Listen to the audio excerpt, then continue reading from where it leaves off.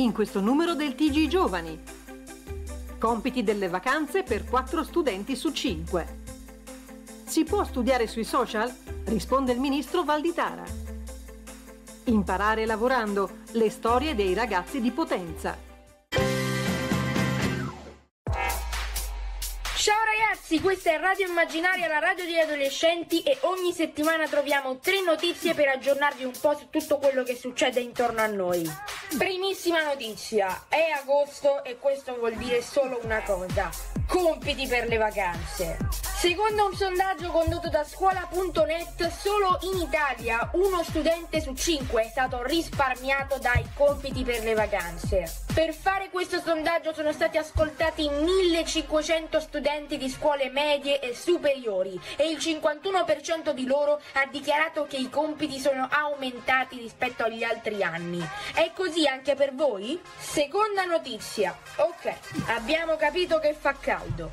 Ma come si può combattere la siccità? Beh, in Messico si sta sperimentando la pioggia artificiale. Il governo messicano infatti ha lanciato l'ultima fase di un progetto di insaminazione delle nuvole per indurre la pioggia. Si parla proprio di ultima fase perché è dal 2020 che il Ministero dell'Agricoltura messicano sta sperimentando il cloud seeding. Ancora non abbiamo la certezza che questo progetto funzioni davvero, però voi cosa ne pensate?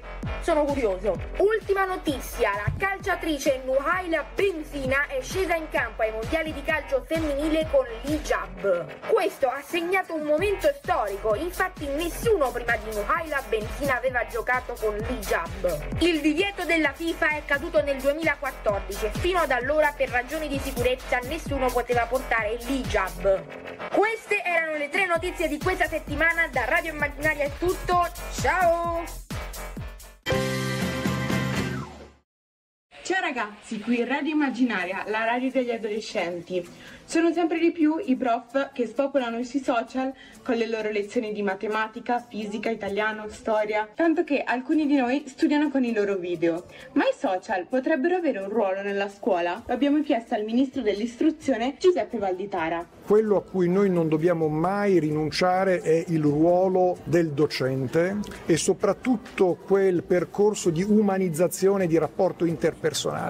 Io utilizzo i social per studiare. Molte volte guardo dei video su YouTube per fissare meglio il concetto. Molte volte i libri di testo purtroppo tralasciano qualche informazione. Coinvolgere i social nella didattica, ma studiamolo, vediamo, verifichiamo. Penso che un'ora di lezione ti insegni molto di più di un video di due minuti o quattro minuti. Spiegano in maniera semplice delle cose senza usare parole complicate. E sarebbe molto utile farlo anche durante le ore scolastiche. Il rapporto fisico-umano diretto tra il docente e i ragazzi eh, in classe è assolutamente imprescindibile. E voi usate i social per studiare? Fatecelo sapere sul nostro profilo Instagram o nei underscore Radio Immaginaria. Per oggi è tutto, alla prossima!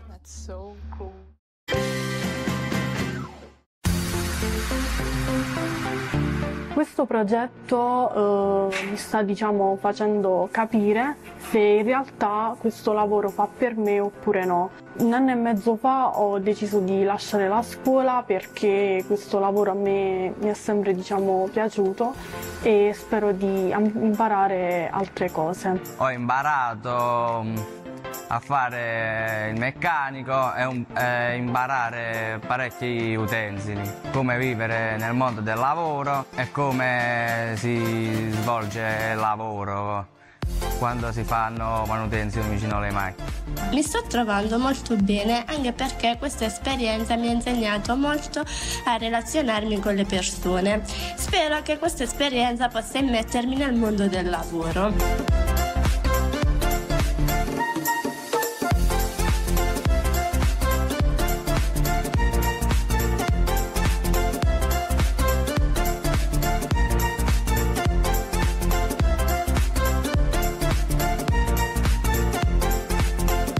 Con l'azione Divento imprenditore di me stesso realizzata dal partner ID Makers abbiamo attivato diversi tirocini extracurriculari. Per gli adolescenti che hanno compiuto 16 anni e hanno assolto all'obbligo scolastico ma che purtroppo hanno abbandonato la scuola, i tirocini extracurriculari hanno rappresentato un'opportunità di sperimentarsi sul campo e di immaginarsi nel, lavoro, nel, loro lavoro futuro. Da questo tirocinio mi porto dietro i ragazzi che mi hanno alzato, mi hanno, mi hanno dato l'opportunità di andare avanti e, e soprattutto i due fondatori dell'azienda.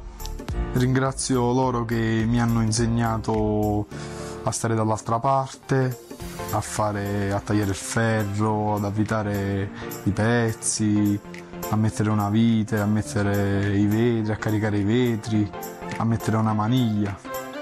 Ospitare per noi in azienda un ragazzo che ha abbandonato la scuola è stato sicuramente un'idea di voler dare una risposta formativa innanzitutto non soltanto dal punto di vista professionale, ma anche dal punto di vista umano. Non è stato facile. Ci siamo trovati ad essere, diciamo, non degli insegnanti, ma dei compagni di strada. Col tempo, con la perseveranza, con la pazienza, con la voglia di crescere, di aiutare a crescere, questo ragazzo oggi sicuramente posso dire, posso essere soddisfatto che è cresciuto.